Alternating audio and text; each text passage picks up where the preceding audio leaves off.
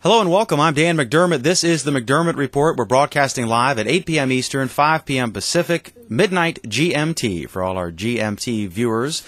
Uh, joining me, as she often does, is Lynchburg Times senior political writer Emily Williams. Emily, thanks so much for being here again.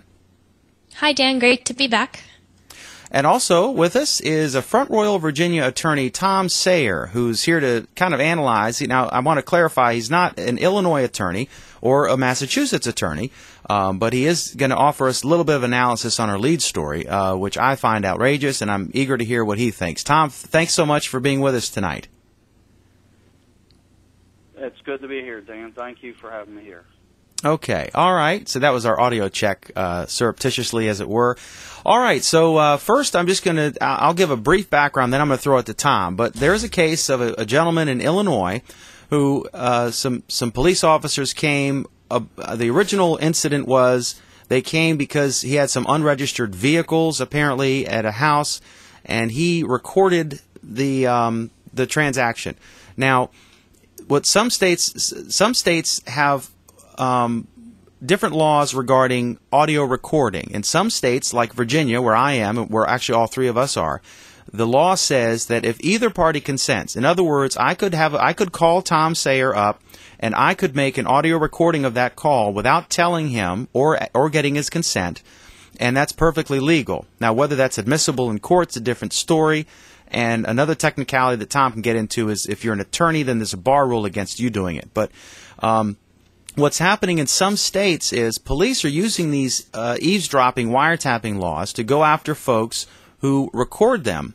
And the way they do it, you know, you could be across the street with your camera, and uh, the video's fine, but the, the camera, if it's making an audio recording as well, then in some of these states, people are being charged with crimes for illegally uh, eavesdropping on the police, even though they're on duty performing their official job. And so this gentleman because of he's facing five felony counts in Chicago, Illinois. It's a 15-year felony uh, for doing this, and and in my opinion, obviously, it, this is a clear First Amendment issue. Um, you have a right to record public officials as long, unless you're in their way or if you're harassing them or in their face or somehow, you know, uh, preventing justice from occurring. If you're across the street with your camera, we have a long history of this.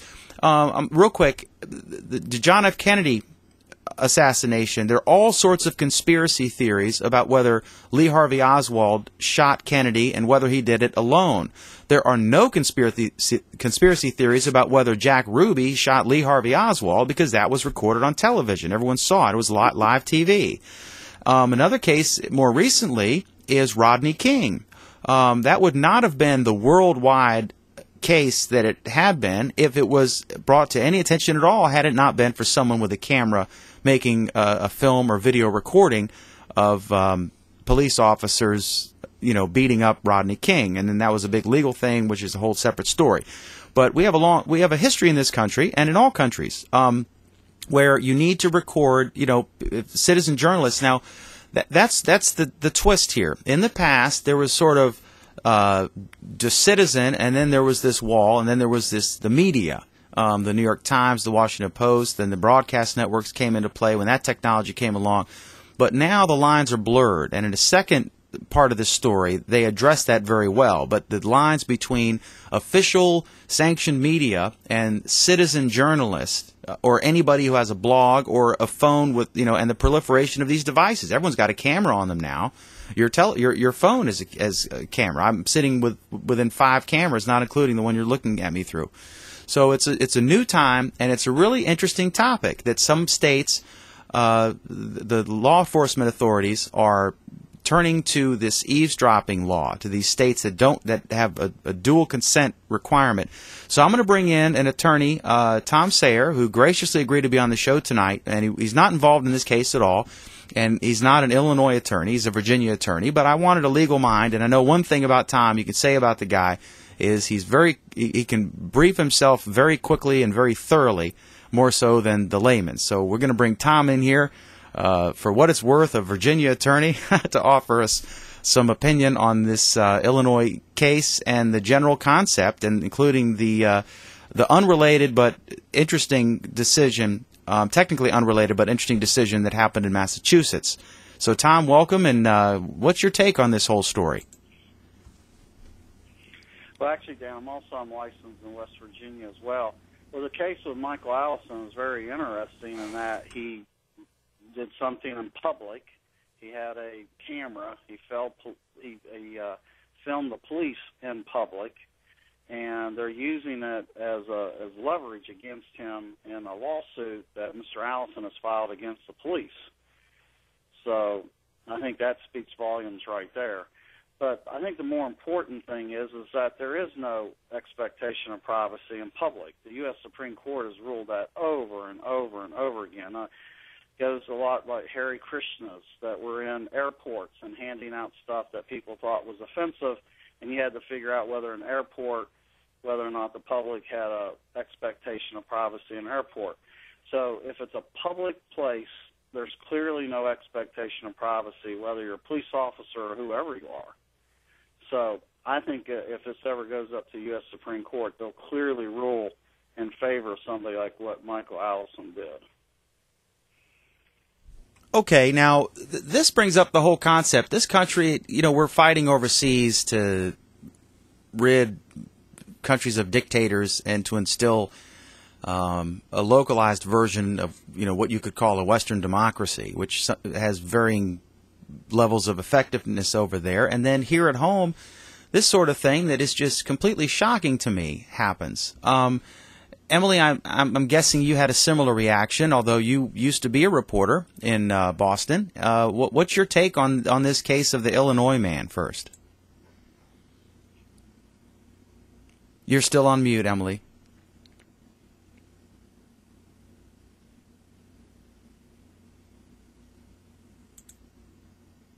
Emily, I'm not getting any audio from you. Did you mute?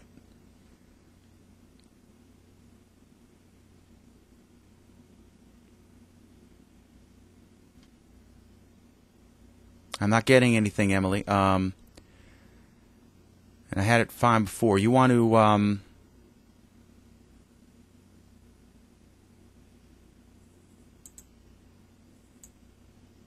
I'm not getting anything. Um, I can still hear you, Dan. Yeah, she's here. I can hear you, and you can hear me, but I'm not um, picking anything up from Emily. I'm not sure. You want to try to call back real quick, Emily?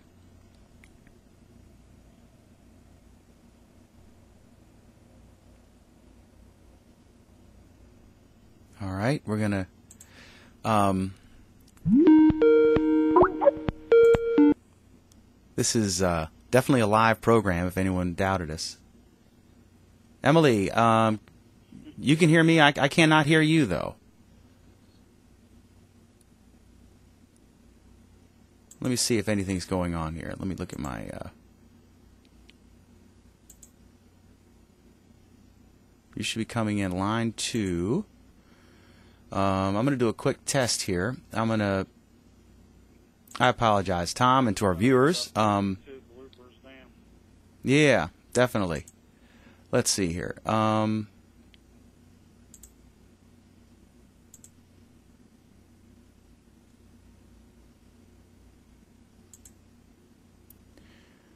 well, you're definitely coming in on line two, so let me see here.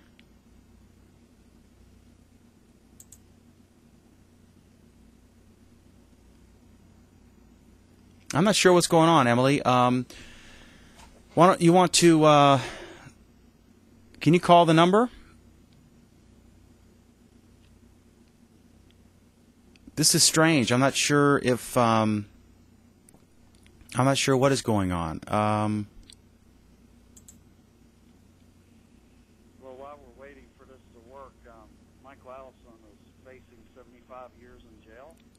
Right. And presently in Illinois, it is against the law to record law enforcement without their consent. My understanding is that that's the law in about 12 states.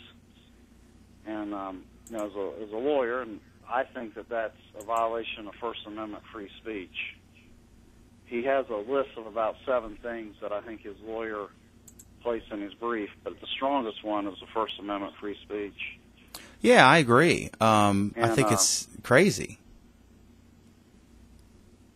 one of the things I've noticed, the media, you know, is up in arms because obviously um, you know, you get a lot of good stories off of things that are on uh, video because video doesn't lie. As you were bringing up some of your other examples, uh, you know, who shot who and this and that, it's because a video is, is extremely important. And believe me, the prosecution knows that too, and so do the police. That's why they love have videos. And that's why they don't want to be videoed because uh, they're very damning if you do something inappropriate. Oh yeah, definitely. Um, and uh, and there there is a, a favorable decision that just came out in the U.S. First Circuit Court of Appeals in the Boston area, which serves in the New England area. They issued a resounding and unanimous opinion in support of the First Amendment to record police actions in public. And in that case, there was a, a black female uh, woman, looked like about in her 20s, was on a train, I think, a station somewhere, and the police came onto the train to arrest a young man who evidently was drunk in public, and she was just filming, and they asked her to stop, and she and she didn't. They handcuffed her and arrested her and put her in a police car and and deleted her video, and she sued, and the uh, U.S. Supreme, the U.S. Court of Appeals has ruled in her favor in her favor, and rightfully so. Wow, that's that's something else. Um, yeah, that's. Uh, and what do you think about this case? It's unrelated. Um, the case in Massachusetts. Do these typically, um, the, where the Massachusetts Federal Appeals Court, uh, one step below the U.S. Supreme Court, but it only impacts uh, it only impacts Massachusetts. But do these things tend to um, do they have a tendency to influence other courts? Well, sure. It's very good precedence because it is a, a United States Court of Appeals. There's only, uh, you know, a certain number of Court of Appeals around the United States, and they they cover, you know, wide areas of a region, normally about four or five states. So yes, they carry a lot of weight. Okay. In the Seventh Circuit Court of Appeals, if this case got in federal court, they would look at it. And but right now, I think Michael Allison is in state court in Illinois. But it really what it is, it's an intimidation tactic used by the police. Now, you know, as I was mentioning to you earlier, Dan, I'm a law and order type guy, and I, and I think you know, obviously, to have good police protection is important. But also, there are some bad apples, and it's also equally important to have the public allowed to have videos, one, to protect themselves, and two, maybe to protect somebody else getting hurt. Yeah, absolutely. Um, let's bring uh, Emily in, who's call. I apologize for the technical glitch. I still don't understand what happened. But, Emily, what's your take on this whole story? Well, I think that, you know, this, this man wasn't a journalist, but this is the kind of thing that really affects the press. Um, I know that and most of my take on it is going to be very anecdotal and you know I I hate that so I apologize to people but my personal experience with dealing with um police officers and a reporter as a reporter um dates back to grad school we were we were taking pictures and videotaping um out on the street in front of police headquarters in Boston. Um we were doing a story on police officers that were parking their personal vehicles in handicap and illegal spots right in front of police headquarters because they were under the assurance that the parking authority would not ticket them. Um, so, you know, police corruption on a small scale, I suppose, um, but it was a big deal to some people. Um, you know, definitely the people that were handicapped and trying to visit police headquarters thought it was a big deal. So, you know, and with all of the reporting that we were doing, I mean, we were assured by our rights that you know we could take pictures and take video if we needed to. And you know once once those rights are taken away somewhere you know even somewhere that doesn't like somewhere that has laws that would prevent those rights from being taken away it really has a ripple like effect for your confidence level um, throughout the nation. And i mean as far as freedom of the press is concerned the united states only ranks 20 of all the nations in the world on, and these are the rankings done by Reporters Without Borders, which is a pretty well respected um, group. Um, so we're we're by no means the most free place to report. And when stuff like this happens, it just you know it knocks us down a little more, um, and it's it's really a shame. Tom, what do you uh, what are you supposed to do? I mean, we, we both know a bunch of police officers, as, as is Emily, and and by and large, they're good, honest, hardworking guys. But what are you supposed to do when? Uh, I mean, what what are folks? Uh, th- this doesn't make any sense. I mean, who do you call when when you have a when the cops are bad? You know, what are you supposed to do if if you can't defend yourself with with a videotape?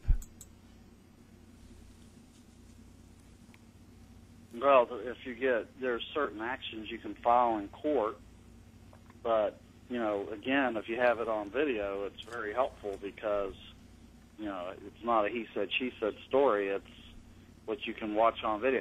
Know, I have many clients that come to me.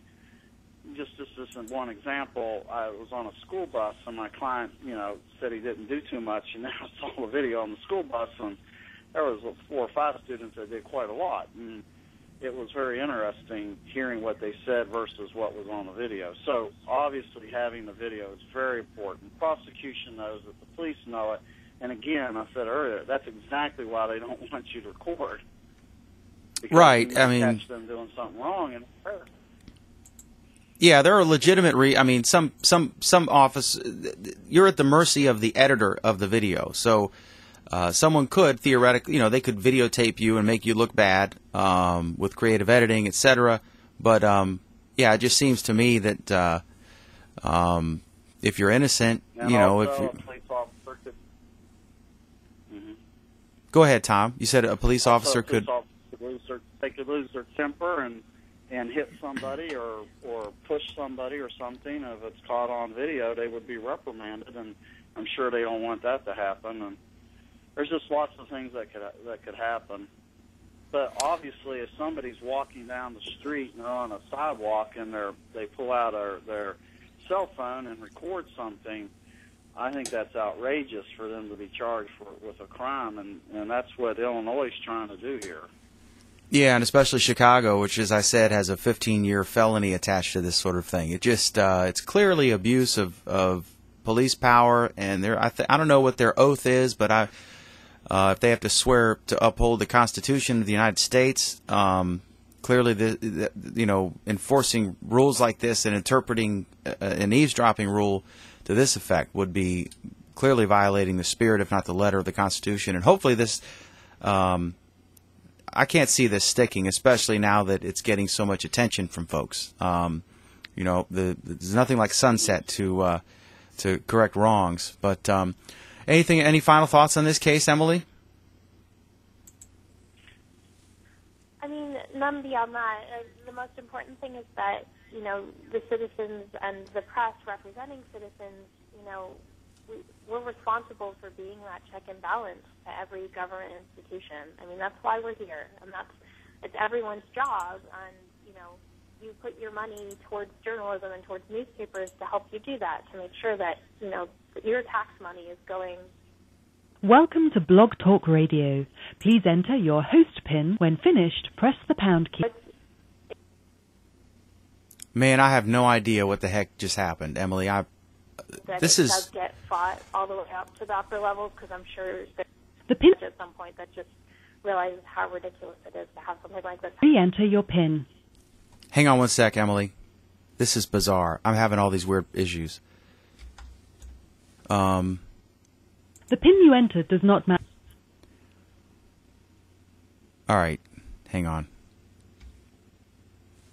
Oh God, I've got to go. This is crazy. I've never had. This is embarrassing. I've never had this happen, Tom. Hello, I apologize. Thank- Yeah, Blog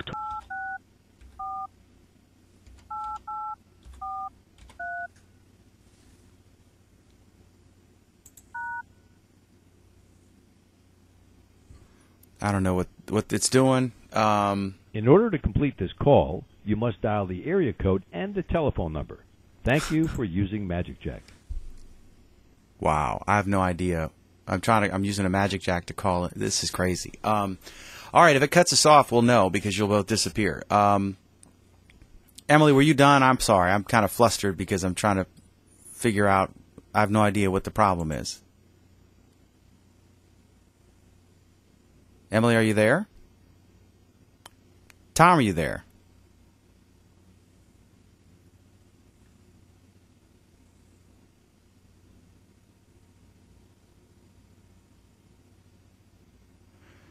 All right. Okie doke. Let's see.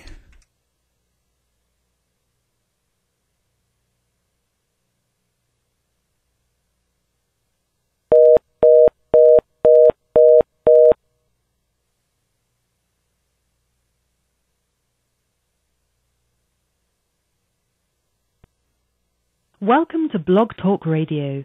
Please enter your host PIN. When finished, press the pound key.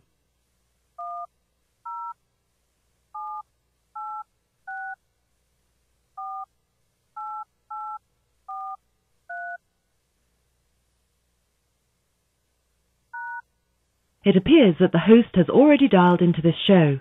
Only one host is allowed per show. Thank you for using Blog Talk Radio. Goodbye.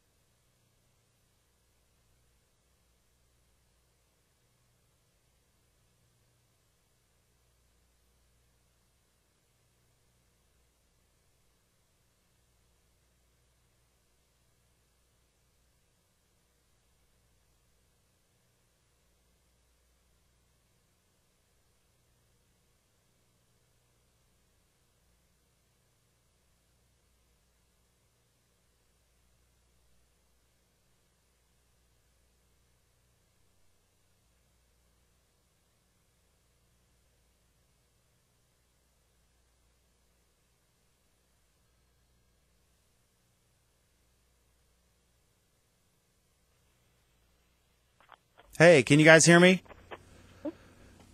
Yeah. I can hear you. All right, this is absolutely ridiculous. Uh, yeah, I had to call in. Um, I got disconnected, but it wouldn't disconnect me from the control panel, so it thought I was still calling in. So I tried to call back in, and then it said I've already called in, but I couldn't hang up on the original call. So what I did, I just said call a guest, and I called back to myself, and that's how I got on. This is bizarre. Um, and uh, Tom, I apologize. This isn't our normal. Uh, uh, this has never happened before. This is the first time I've had a Skype caller, video, and Blog Talk Radio at the same time, and obviously that's not going to work. Um, so anyway, um, all right, Emily, tell me about the car story you had. All right. Well, we, we were just talking about how Netflix is losing investors, which is a good segue into um, car sales. Apparently, um, auto sales, mostly for U.S. companies, um, were up for the month of August, which is, you know, completely against what everyone would think based on what the economy's been doing and the hurricane and everything else that would make people not want to run out and buy cars. Um, but you know, they they were up. Let's see, Ford Ford saw an 11% increase, GM saw 18%, and Chrysler um, says that has had the best sales. August sales were the best in four years with a 31% increase. Um, so, you know, it's really interesting that they're doing so well, but unfortunately, their stocks are still down. um, you know, they're uh, they're still going down even with these great numbers that just came out. So, um, you know, it's, it's nice to see the U.S. companies performing well. They actually, uh, both Toyota and Honda went down for the month of August, so they're outperforming, you know, the foreign companies a little bit, um, which is great to see for our country. Um, but you know, as I was reading this article, and um, this is this is going to launch into a little bit of a personal note. I'm actually in the market for a car right now, and you know, I was I was pleasantly surprised to see how affordable and how good gas mileage the U.S. companies' new little cars are getting. Um, you know, there's some great hatchbacks out there that are you know very competitive and much cheaper than what Honda and Toyota are offering. Um, so you know, if if I had to guess why their sales are doing well, it might be because they actually have hit the market that they need to for our country right now. Tom, that seems like it's been a problem for a long time, hasn't it? That they were building the wrong vehicles uh, for demand. That they, when when gas prices skyrocketed, all these dealers were just loaded up with SUVs. They got very bad gas mileage, and they you couldn't find a a place that was selling a a, smaller car, and then they were raising the prices sometimes sticker or above for some of these cars that got great mileage when the the gas first shot up like crazy. Mhm.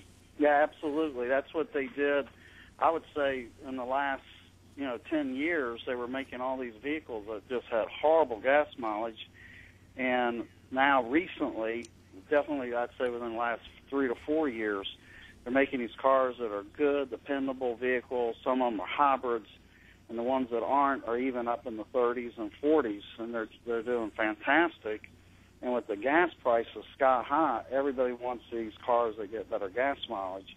And another thing that I think happened, we people have been holding back buying a new car for so long, and that now you know things are starting to break a little bit in the car industry, and people are out there purchasing a new car because their car is now you know 10 or 15 years old.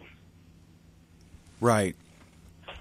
Yeah, it's uh, yeah. I've got my 07 uh, Taurus still hanging in there. Um, I know Emily needs. Uh, you need a car you really need a car because now your boyfriend yeah. you were you used to live across literally across the street from where he worked, and then uh, your job is largely uh, as a reporter. Um, your job is you know covering stuff. Sometimes you you're on the phone talking to people, but now you're 30 minutes away from. Uh, his his work. So yeah, it's time to get it's time to make the plunge. Maybe we can get a little mo- moped. I know there's some uh, folks running mopeds around Lynchburg. Yeah, you know, we've been I've been driving the same. It's an I I drive a '95 Honda Accord, um, and it was a high school graduation present. So she's a math. I've been driving it for quite a long time, and it's made the drive all around New England several times, and it's it's ready. It's ready to go. It's rusted through like any good northern car should be. and yeah, no, I and I've been you know I've I'm looking at those small hatchbacks and I was pleasantly surprised to see that Ford has a very competitive one in the Ford Fiesta, which, you know, if you know your history of cars, Ford with their funny named cars, you might be a little skeptical that the Fiesta is a good vehicle, but man, it's it's perfor- outperforming the uh, Mazda 2, which is the you know identical car in its class. So I'm seriously considering going American, which is something that I you know two years ago would never have considered. I don't know if you're allowed to, being an N- NPR listener, if you're allowed to buy an American car, Emily. Won't this uh, upset your? Uh... horrible. did you hear? Did you hear that the labor secretary? Like oldest, you sound like my oldest daughter, Emily. She likes uh, Hondas. Well, you can't go wrong. The car talk. Okay, the the car talk guys on NPR say, "Oh, you want a safe car? Buy a Honda." That's what they say. They last forever. Get your daughter a Honda. Well, Next caller.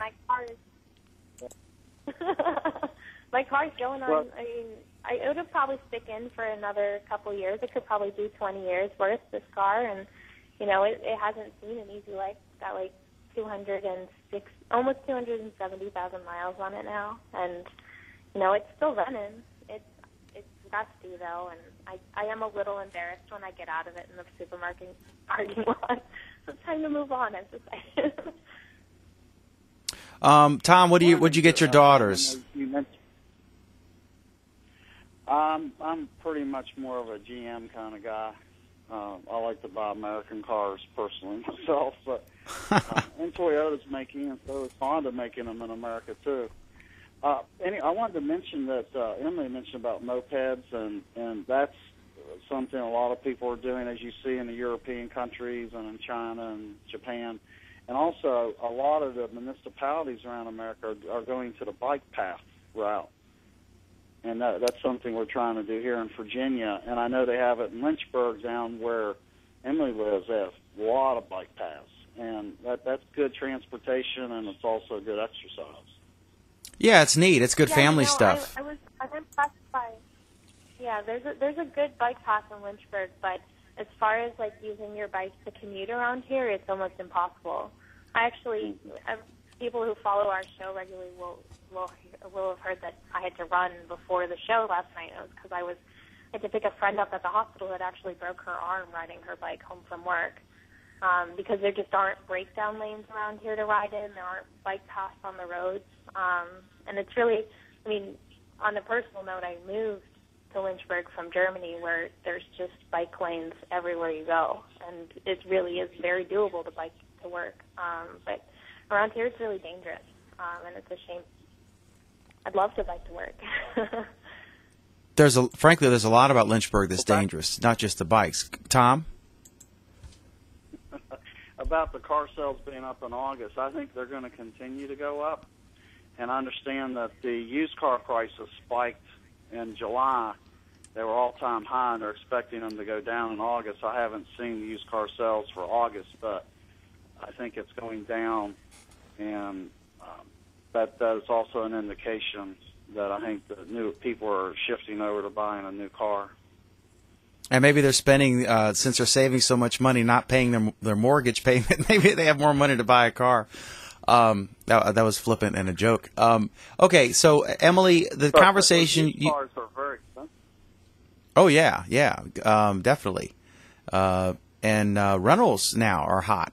If uh, these landlords who suffered so long uh, when everybody and his brother could buy a house, um, and uh, nobody was renting, everyone was buying a house. Someone makes twenty grand a year, they'd sign whatever form with no verification. They'd buy a you know hundred fifty thousand dollar house, and now they're getting foreclosed on. Uh, it was an awful time, but now now the rental places is a line to get in, as Emily's discovered. Uh, um, luckily in Lynchburg, there's a, a, a big number of rental places because they just moved because her boyfriend's a nuclear engineer, and so they never know from year to year where they're going to be, so they can't really buy. Uh, so um, they did a lease, and she went through that on the show for a while. She was mulling over all the different options. Um, I wanted to hit the, the Netflix thing because that was not recorded. Uh, you two could hear each other, but you weren't coming in. Um, you were going to Blog Talk Radio, but you were not coming in at all on this. So if, if uh, I have no idea what you two said, so if you two want to hit that again, that would be terrific.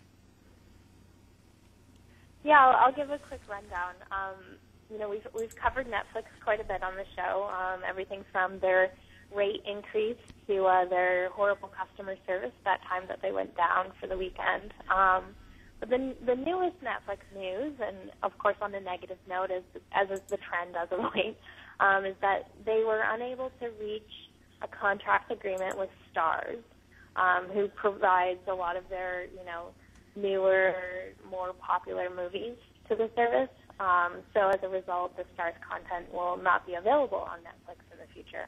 Um, so of course, Google Plus was a buzz today about this news. Everyone's saying things from "I'm glad I already dropped the service" to "I can't believe that they're hiking our rates and taking out movies," and it was it was largely negative, um, of course. and this is, I mean, this is not not a good thing for Netflix to hear. I mean, they haven't had a lot of good press lately, and this is just another, you know, knock off the block. Um, but you know, I I'm an avid Netflix user, and I I will be bummed. I actually have already gone through my instant queue, identified which movies are from Starz, and put them at the top to make sure that I watch them before they disappear.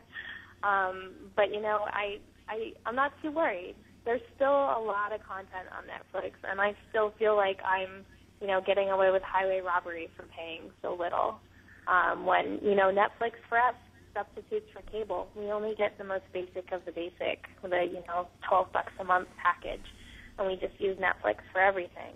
So. I watch it every night, and it freaks me out when they. Netflix? Yeah, I watch Netflix. Uh, I, I like them, and uh, when they when there's a problem when they go down or something, it's funny because millions and millions of people will go on Facebook and Twitter and just freak out because it's like the, their world has ended because they don't have Netflix, and then everyone races to the Redbox machine, and the only thing left are you know cartoons or um, some Harry Potter movie you've watched 50 times already.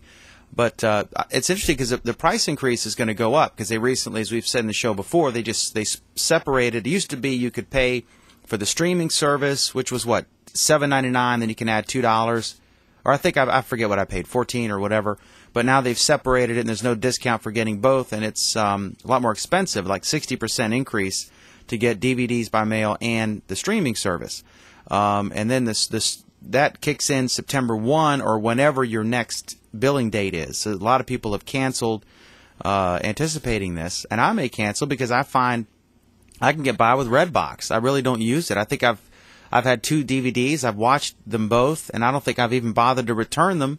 And probably I've had them for a couple weeks, and I haven't. I'm, I'm just not using it now.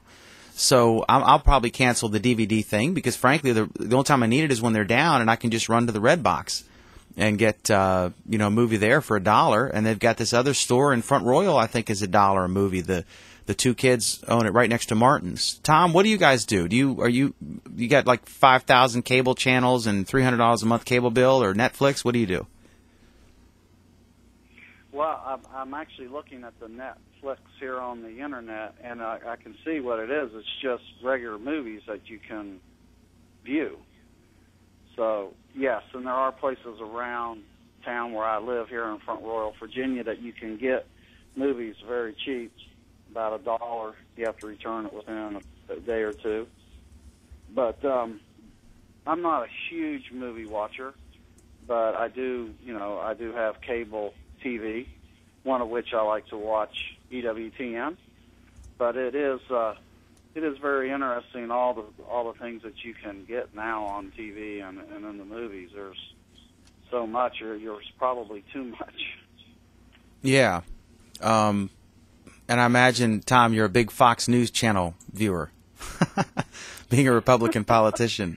Yeah. Um, speaking of Fox News, this is interesting. Uh, part of it's not surprising. Part of it is a news today from Orlando, Florida, that Fox News is going to host a Republican debate hosted by Bret Baier.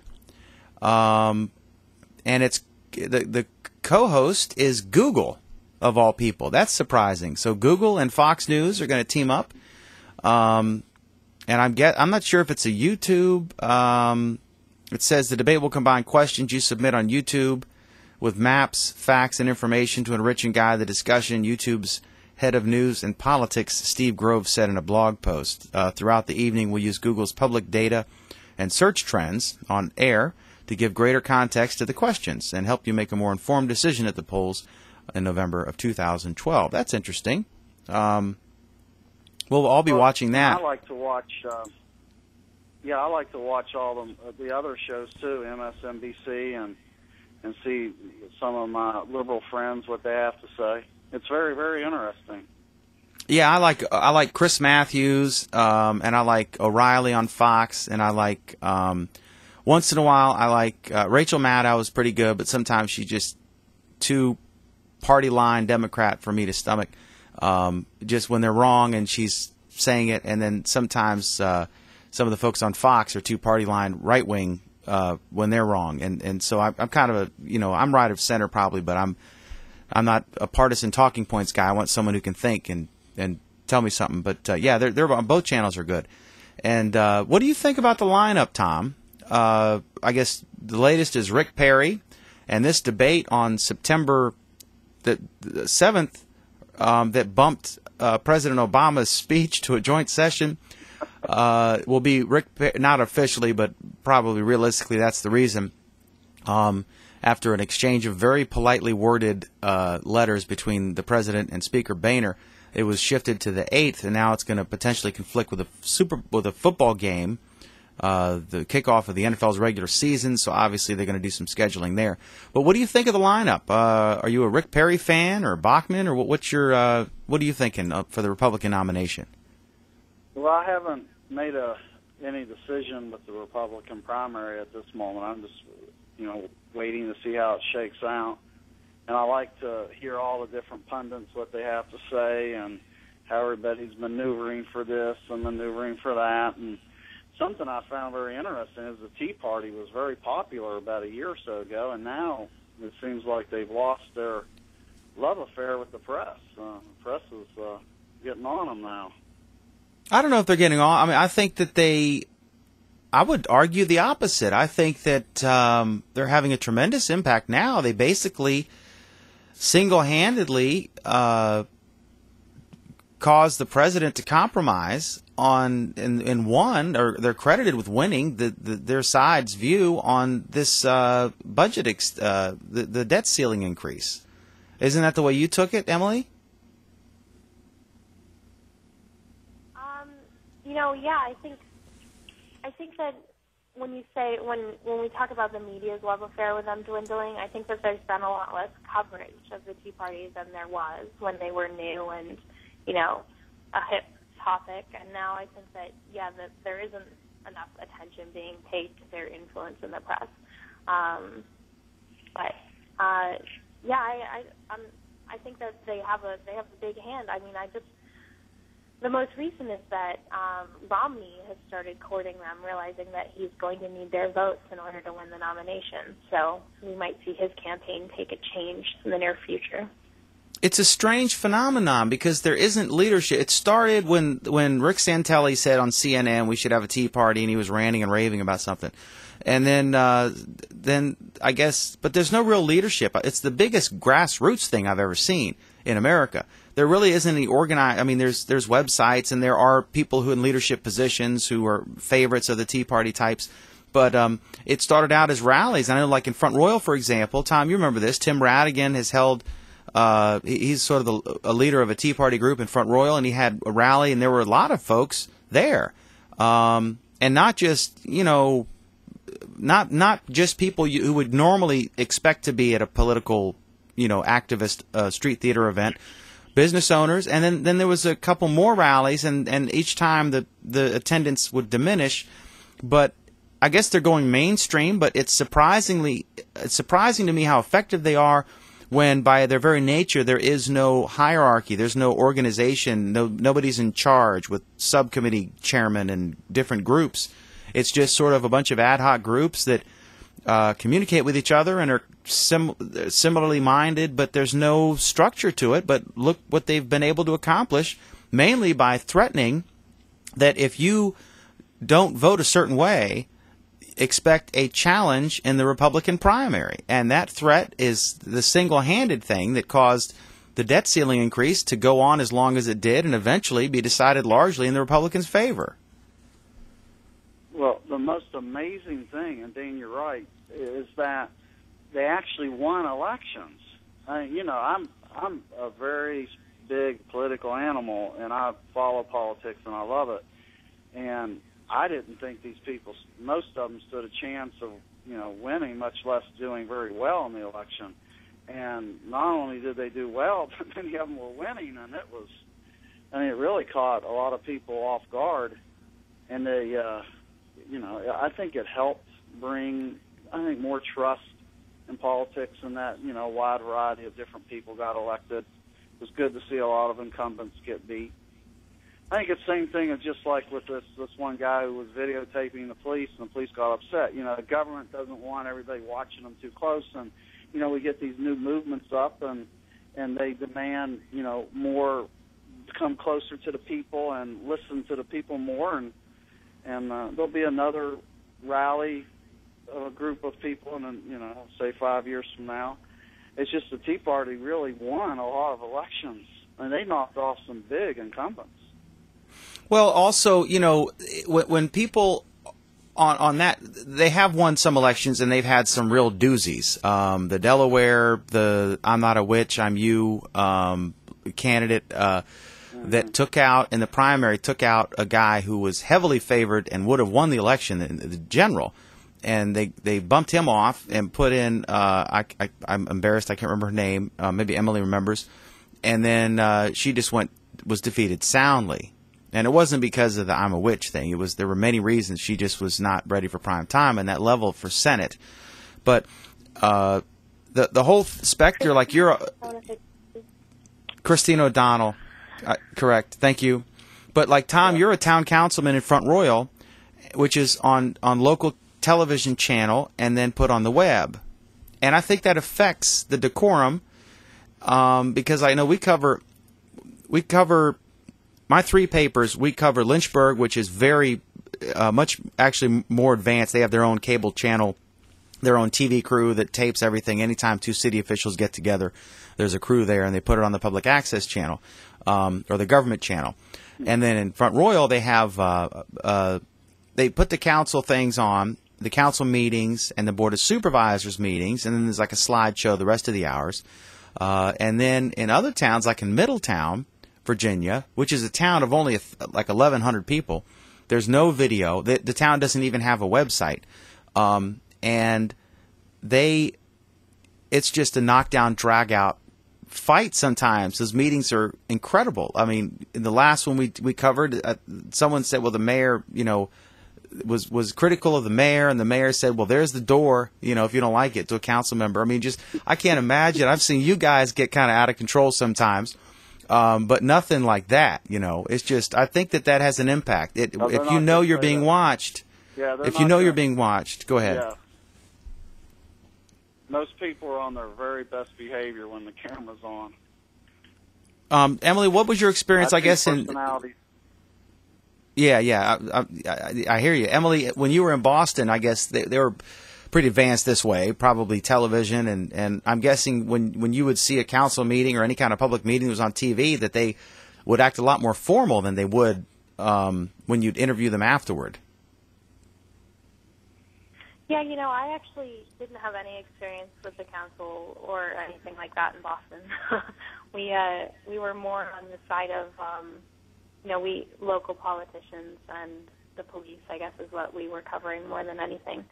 Um, so I, I couldn't say, but I know that yeah, Lynchburg is very much on TV, and you know, the council meetings here still get goofy sometimes. I mean, not rude, but definitely they they get a little giggly in some meetings. I remember a training session in- Lynchburg when they were all issued iPads.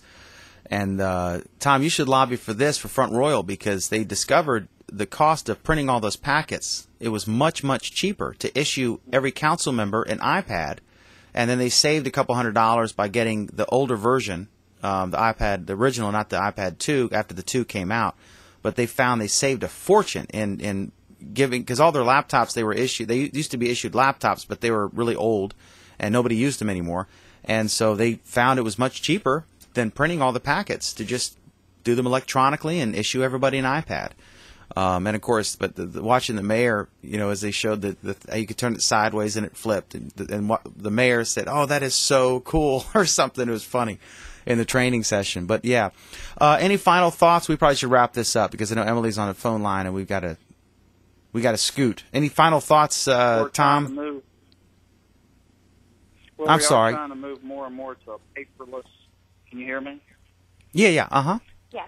We are we are trying to move more and more to a paperless society, and here in Front Royal, we are we're trying to do that more and more. We're sending out email that has attachments to it that has a lot of the paper stuff in it, and instead of you know having you know mounds and mounds of paper at work session, we just look at it over our email.